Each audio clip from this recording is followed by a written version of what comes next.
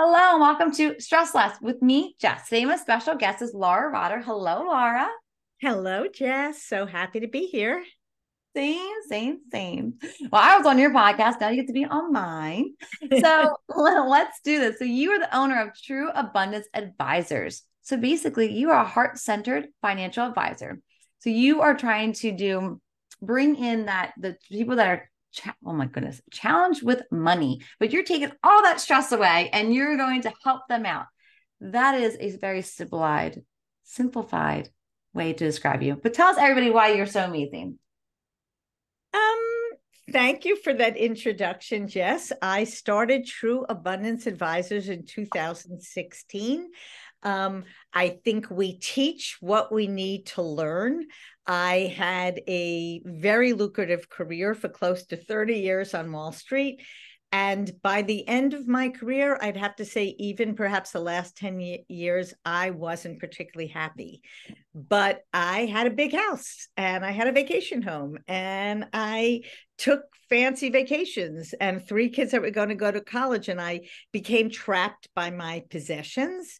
And it was only through well, both mindfulness work, which I'm happy to talk about during our conversation, but also the nuts and bolts of like, these are my expenses. Let's sell the big house. Let's sell the vacation home.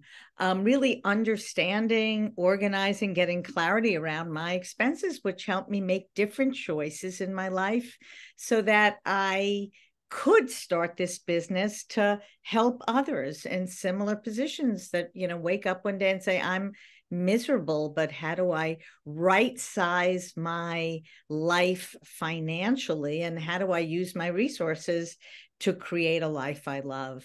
Um, I've said that I was using my life to make money, and now I use my money to make a life. Oh, I like that. As you're talking, I've been writing down like all your pointers, and I'm going, that's my favorite one. That's my favorite one. I like that one too. I like that one. but you said so many things. I think one of the biggest things is, especially as business owners, especially as someone that's struggling financially, we think that money is going to solve that problem. And it's not. Does money help certain things? We can't discredit that for sure. Does money help certain things about in our life? Obviously. But it's not the all and be all. And so how do you live that life? And I think that's exactly what you're saying is that you had quote unquote it all, right? You had the house, you had the vacations, you had the life, but there's still something missing and how are you're trying to find that life and find that balance and i think that's that's awesome exactly i mean yeah. as you know we spend most of our lives working and if you're not happy with what you're doing during the day if you're sort of just trying to make it to the weekend which was what my life had become then there's something wrong and I think you also don't get to appreciate what you're doing, right? So you maybe not that you didn't appreciate your house and vacations, but maybe you get to see them in a different light when you're at a happier spot in your life, right? Yes. Right? So, so true. So tell us a little bit about your business and tell us a little bit about what your clients do, the, the work that you do with them. Tell us a little bit about that. So um I work primarily with women. I often say I, you know, I I was with dudes on a trading desk for many, many years. How do you like them, Knicks? I'm a New Yorker. um, and I I guess a, a quick aside, I did a yoga teacher training while I was still working on Wall Street.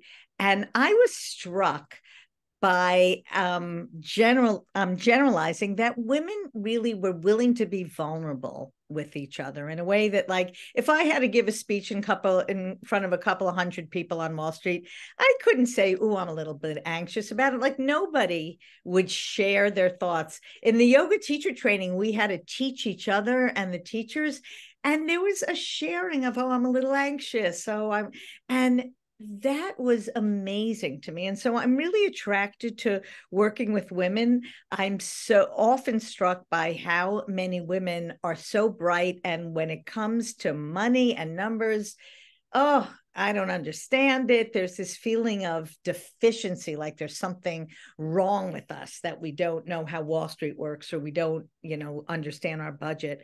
And so I really like to work with women primarily in a life transition, and this can be losing a career, heading towards retirement, getting divorced, um, losing a spouse.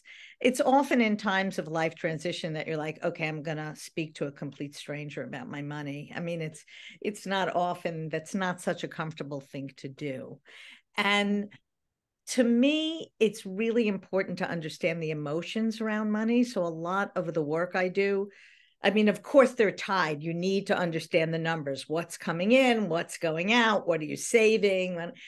And you also need to understand your money story. Like, did you grow up with a real sense of scarcity? And then, no matter how much money you have in the bank, you're never going to feel like it's enough. Or the other way around.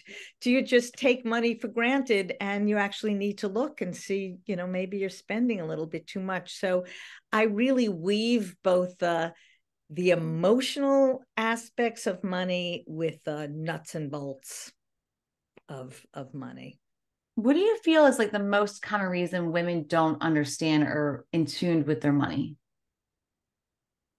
I mean a couple of things come up for me. I've met with women who you know grew up with brothers and so if there was any discussion about you know money in the house it was often with the brothers and so the implicit message is you're not going to understand this or this isn't something you know you can do it's both money and math i mean it's the same thing that i've um a lot of women just feel uncomfortable with maths. You know, that's not my domain.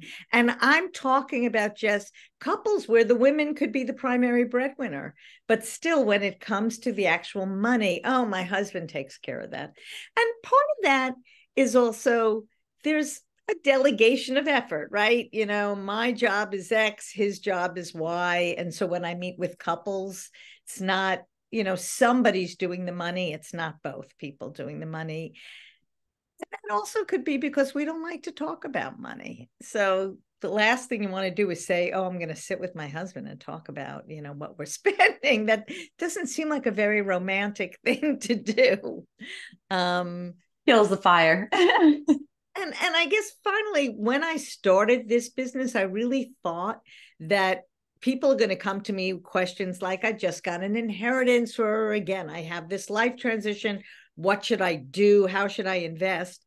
And i'm creating a safe space for conversations about you know if you found out you had one year left to live what would you change um if you know these aren't questions i came up with a gentleman george kinder um he's known as sort of the father of financial life planning you know another question like if tomorrow you find out is your last day, what would you regret? And really understanding what it is that we want, not what it is that, you know, BMW tells us that we want or some other cultural message, but really deep down inside, what's important to us. And what's important to me is not going to be what's important to you.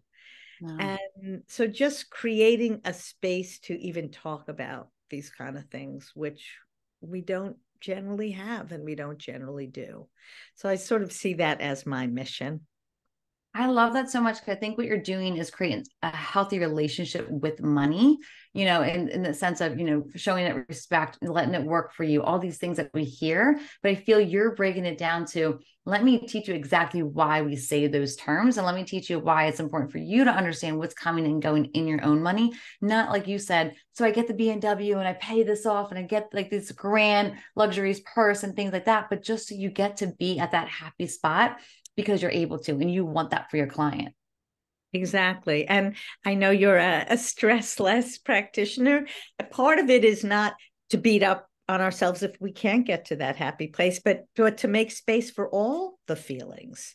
To say, you know, sweetheart, it's okay that you feel anxious around money. It's not surprising. You grew up where your parents had to choose which bill to pay each week. And to understand where these emotions come from. And when you understand them and accept them, it's easier to move forward. If we reject them, that doesn't help. No, I think we we we all should know by now that hiding and stuffing feelings and thoughts don't really get us anywhere. Right, beating up on ourselves for having certain feelings and thoughts is not helpful. No, no. So for the woman that's in that life transition, and she goes, Laura is saying all the right things what is the best way for them to contact you? So, um, my email address. So, first of all, the name of my firm again is True Abundance Advisors. And why did I choose that name?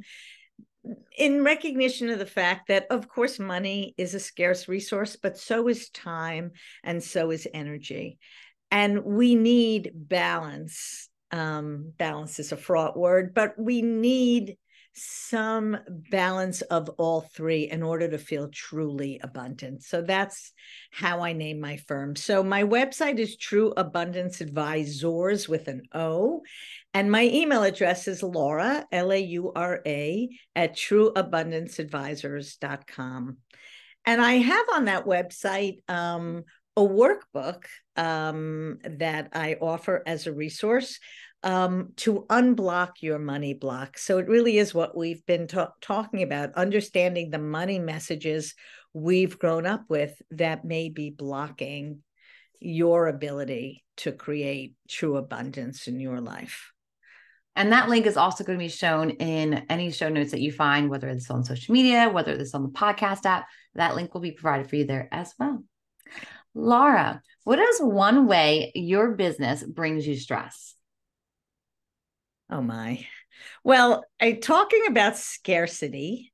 Um, I try to analyze this in myself. I have a lot of feelings of time scarcity. Yeah. Um, and you know, that's my practice to recognize it, not beat up on myself for it. But I'm always sort of aware that, like, oh, I'm running late to this. And I'm, and as a solopreneur, I'm, you know, I wear all the hats. I'm I'm the marketing hat. I'm, you know, meeting with clients. I'm preparing for meetings. I'm on podcasts. You know, there's and there's just so many hours in a day. And I guess I want to be sure to share um, some of my practices because I do attribute finding meditation and yoga to having to making the decision to leave Wall Street, which will be a decade the end of this November. So congrats. Um, because it always sounds so trite, but I realized that I was choosing to be a victim of my life. You know, oh, I can't leave Wall Street. I'm the primary breadwinner. We've got this house. We're sending kids to college. And and realizing that that was a choice I was making to feel that I was trapped and that I could choose otherwise, and um, that I'm not going to get a do over of my life. And again, that always sounds like, of course you're not, but I think we live our lives and we don't realize that you know we have a limited amount of time on this planet and to spend it miserable and rushing around and so as a practice, I do meditate 20 minutes every morning, at least during the week. On the weekends, I sleep later and I don't. Um, balance. and I'm also a relatively type A personality. So I do exercise every day. I'm pretty, um, I'm, I'm a pretty disciplined person. And so my practice is really to become a little bit less disciplined. oh, I like that. No, Let that's flow more. Yes. Well, it's kind of like going back to what you were saying in the beginning, like just creating that awareness, knowing that we all have something that we're working on and there's nothing wrong with that, but keep growing. And so knowing this is your next step of growth. And that's so cool for you. Cause like you said, you're wearing all the hats, you're a mom, you're a wife, you're you're doing all the things. Now it's a business owner. So then it's like you said it there. That's the marketing, that's the planner, that's the podcaster, that's the right, that's everything in between. And so then it's like, how do I just make time just to go, it's okay. It's, it's okay. Awesome. It's okay. Yeah. Yes. Oh, I love that. To recognize that it changes, right? I started this business 10 years ago. I was just having conversation with the coach today. And what my goals were 10 years ago, by necessity, I should have different goals now. I'm 10 years older. You know, life has changed. And yet it's so hard to let go of that old person and those old goals. And yes. again, first step is recognizing. First step, first step. And that's a hard step. And then it's the next action step too, right? You talked about the action steps too. But also you're saying too, 10 years ago, isn't that long? If you think about everything you've done before. And so just knowing in 10 years, it's okay to grow and change. Think about what the next 10 years look like and the next five years, right? And talk about that time that growth within a time, that learning within a time, right? There, there's so many things that happen within 10 years. And, you know, that's a whole other podcast within itself. because we all can be like, wait, I just know what happened in the last two years, you know? But just knowing what you need now, and there's nothing wrong with that. Yes. Very, very yeah. true. It's oh. important to hear us say it. Yes. Laura, before we get into the lightning round, we talked about, you know, your business, who you help, all the things in the in between. What is the one thing you want the listeners to take away from today's episode? I guess um again, teaching what I need to learn. Life is a journey. So there isn't this idea, oh, I'm going to come work with Laura and then um you know everything will be set as a matter of fact one of the things i like to say when i put together a financial plan for someone is you see this plan we're discussing? It's immediately obsolete. Because the one thing we know for sure is that life is about change.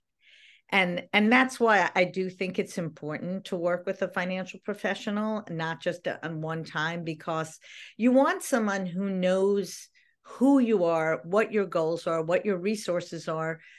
When the inevitable crap happens. I mean, I'm, you mm-hmm. know, unfortunately, things happen in life. And when you're facing something like that, some unexpected event or change is not when you want to start getting to know someone and getting to understand your resources. You want someone you can pick up the phone to and immediately. Yeah they know what to do. And I'm thinking in particular of a client who unexpectedly um, lost her husband this year and how thankful she was that we had this relationship, that I had introduced her to an estate planning attorney and an insurer, you know, that all these pieces were in place and all she needed to do, you know, was to call me and you know, we were already getting things done.